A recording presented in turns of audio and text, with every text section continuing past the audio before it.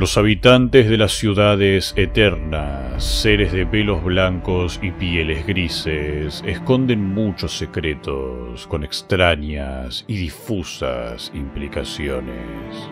¿Son númenes? ¿Vienen de otro mundo? ¿Y qué pasó con su luna? Son algunos de ellos. Muchos de estos secretos e importantes detalles que los rodean, a veces me los dejo en el tintero en los videos más centrados. Por eso, veamos 10 de ellos. 1. ¿Son númenes? Las conexiones para afirmar esto son indirectas. La runa del numen dice...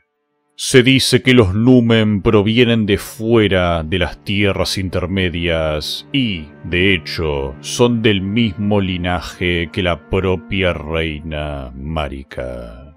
Esto conecta a los númenes con Marika. Asimismo, Rogier dice... Dicen que los asesinos que llevaron a cabo la hazaña en la noche de los cuchillos negros eran descendientes de la ciudad eterna.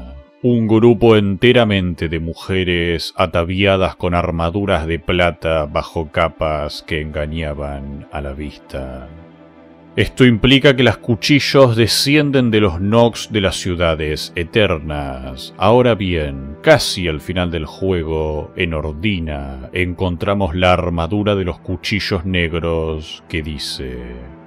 Las asesinas que llevaron a cabo las hazañas en la noche de los cuchillos negros eran todas mujeres y, según los rumores, eran númenes estrechamente vinculadas a la propia Marika. Esto vincula a Marika, que es una numen, con las cuchillos, que a su vez, por lo que dijo Roger, descienden de las habitantes de las ciudades eternas con lo cual podemos determinar que la ascendencia de Marika y de las Cuchillo vienen de las ciudades eternas, o sea, los Nox, y que por lo tanto los Nox son númenes. Con esto, las hormigas que sueltan las runas de Numen en la ciudad eterna sin nombre tienen más sentido, pues los insectos habrían devorado los cadáveres de los Nox masacrados por Astel adquiriendo así sus runas. 2. Sin embargo, si son númenes, nos encontramos con un problema, pues en el creador de personajes esta raza presenta una piel caucásica, mientras que los Nox, y curiosamente, también los adoradores ancestrales, tienen una piel grisácea y extraña. Creo que esta condición está basada en la argiria, un síndrome producido por la exposición a la plata, que produce una coloración grisácea y azulada en la piel. Las similitudes visuales son extremadamente evidentes y así también lo es su causa, pues todo lo referido a los Nox está estrechamente vinculado a la plata o al mercurio ya sean las lágrimas plateadas, la armadura de las asesinas que acabamos de leer, o la armadura Hoslow que casualmente al final de su quest nos da una runa del numen. Con esto podemos intuir que, tras ser desterrados bajo tierra y comenzar a experimentar con las lágrimas miméticas, tanto ellos como sus vecinos, los adoradores, habrían sido envenenados con plata, modificando así el color de su piel. 3. Pero esto nos lleva a otro punto. La descripción de la raza Numen dice que son descendientes de seres de otro mundo. ¿A qué se refieren exactamente con otro mundo? Un planeta distinto sería la interpretación más literal, lo cual no sería extraño dada la redundancia de temas espaciales en el juego. Sin embargo, es importante aclarar que dicen descendientes y no que son, literalmente, de otro mundo, sino que han nacido en las tierras intermedias. Siendo ese el caso, tenemos unos claros candidatos para su ascendencia. Nada nos lo dice de forma directa, pero es bastante intuitivo que los señores de Ónice y Alabastro sean una suerte de extraterrestres que llegaron hace mucho, mucho tiempo y que nacieron o despertaron tras la caída de un meteorito. La descripción de sus espadas dice, son una antigua raza de seres con piel de piedra que, según se comenta, surgió tras la caída de un meteorito hace mucho tiempo. 4. Sin embargo, lo anterior presenta un problema. Se nos habla de una tierra de los númenes, de donde viene el mismo martillo de Marika que dice, martillo de piedra fabricado en la tierra de los númenes, fuera de las tierras intermedias. Esto podría implicar que la tierra de los númenes es el otro mundo del cual se dice que vienen. Sin embargo, esto complejiza las cosas, dejando a los señores de Alabastro y Ónice fuera de la teoría. Es posible entonces que con otro mundo se refieran a un continente inexplorado, del mismo modo que los europeos llamaron a América Nuevo Mundo.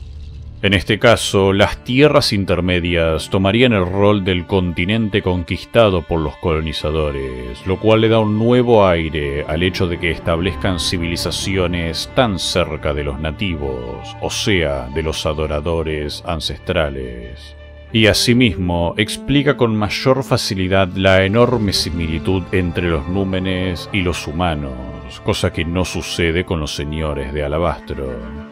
5. Y hablando de los adoradores ancestrales, tenemos evidencia de que tanto su cultura como la Nox convivieron.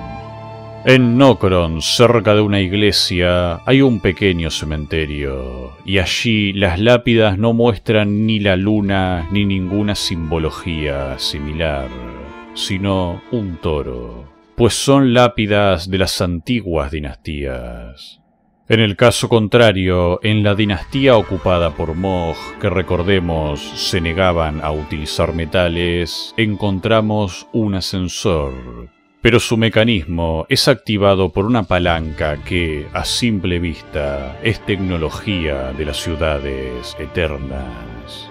Esto nos permite asegurar que estas culturas compartieron tiempo y espacio y que colaboraron a la vez que mantenían sus costumbres separadas. 6. Es ampliamente conocido que los Nox estaban intentando crear una suerte de dragones antiguos, utilizando, evidentemente, cuerpos de trolls, pero como resultado solo obtuvieron productos fallidos. La descripción del encantamiento lanza fulgurante congelada dice, los draconianos nacieron en la ciudad eterna, donde desconocían tanto el cielo como el relámpago verdadero. En su lugar, el relámpago de hielo era su arma. Se está implicando que, al desconocer el cielo, no tenían la capacidad de utilizar relámpagos dorados o rojos. Sin embargo, en Noxtela, lágrimas miméticas son capaces de lanzar relámpagos dorados y, más importante aún, sueltan grava, las escamas de los antiguos dragones. Esto implica que, como extensión de sus experimentos, fusionaron a las lágrimas con grava, tal vez como una forma de intentar crear draconianos inmortales. La cuestión radica en que parece que estas lágrimas sí conocieron el cielo, dado el color de sus relámpagos, por lo que podrían ser parte de una suerte de excursión o intento de conquista fallido. 7. Ahora hablemos de su objeto de culto, la luna. El talismán luna de Noxtela dice... Este talismán legendario es un tesoro de Noxtela, la ciudad eterna. Representa la luna negra perdida. La luna de Noxtela fue la guía de innumerables estrellas.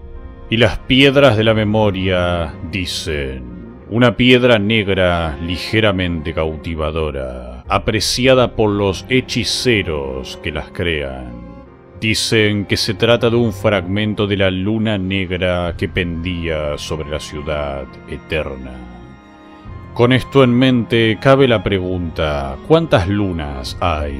En el juego podemos constatar dos que vemos en el claro de luna, la llena de Renala y la oscura de Rani, cuyo hechizo homónimo dice... Esta luna fue encontrada por una joven Rani guiada por la mano de su madre Renala. Lo que vio fue frío, oscuro y velado en un misterio oculto. Notemos que las lunas de Noxtela se denominan Black, mientras que la de Rani es llamada Dark, como si fuesen distintas. Ahora, la piedra de la memoria dice que la luna pendía sobre la ciudad eterna y el talismán dice que esta luna se ha perdido. Una posibilidad es que esta Black Moon haya sido destruida bajo la tierra. Sin embargo, las piedras de la memoria están en la superficie, por lo que esto sería extraño.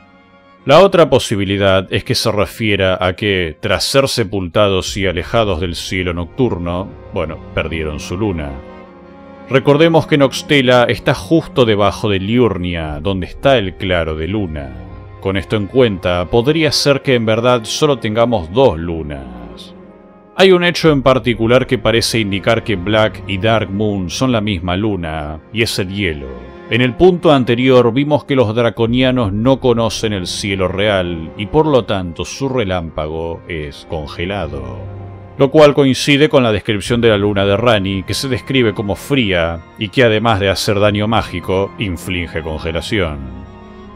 8. Siguiendo específicamente con Noxtela y Rani, no pasa desapercibido que las espadachinas montan hormigas gigantes cuyos ojos brillan con un tono violeta. Esta hipnosis puede ser rota cuando se le aplica el estado de sueño a la hormiga. Ahora, esto es extraño y plantea relaciones difusas. Como primer punto, cuando Rani aparece en la iglesia de Kale, una bruma violeta envuelve el lugar y el comerciante cae dormido. Y en segundo lugar, esta técnica de hipnosis podría ser un subproducto de la capacidad de los Nox de convertir seres vivos en títeres, cosa que únicamente vemos, además de Noxtela, en la mansión Caria. No me pinta inventar alguna teoría estúpida para explicar algo sin demasiado fundamento, pero las cartas están sobre la mesa. Tal vez el mundo de los sueños tenga la capacidad intrínseca de eliminar la influencia de dioses o lunas. Y gracias a ello, Miquela pudo desarrollar la aguja plateada. 9. Otra técnica de los Nox, específicamente de las doncellas, es esa suerte de perfume que lanzan, sin efecto ni importancia. Perfectamente podría ser un precedente de los perfumistas de Leindel, que ya teoricé que descienden de los monjes Nox y que además tienen el mismo color de piel anormal que estos. Lo cual indica, obviamente, que salieron a la superficie luego de envenenarse con plata o mercurio. De hecho, el perfume más importante de todos, el que convirtió a los perfumistas en comandantes, utiliza en sus ingredientes una cáscara de lágrima plateada, implicando que, si conocían el ingrediente, es porque experimentaron largo tiempo con él. Ahora, esta técnica inútil de las doncellas no solo fue un precedente de los perfumes, sino que también se convirtió en la hechicería de Celia, niebla de doncella nocturna. Finalmente, y hablando de Celia, 10. ¿Qué destruyó la ciudad eterna? Astel, claro. Pero ¿por qué? Bueno, los Nox no usan hechizos en ninguna ciudad, con la excepción de Celia, que se llama Ciudad de la Hechicería.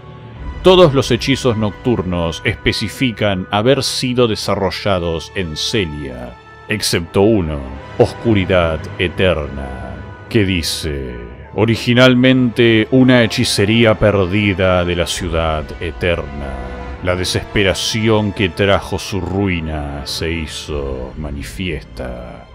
Esta extraña excepción a la regla parece indicar que, de hecho, Astel fue convocado por accidente en la ciudad eterna sin nombre, cuando sus habitantes estaban experimentando con agujeros negros, seguramente con el propósito de destruir el árbol áureo.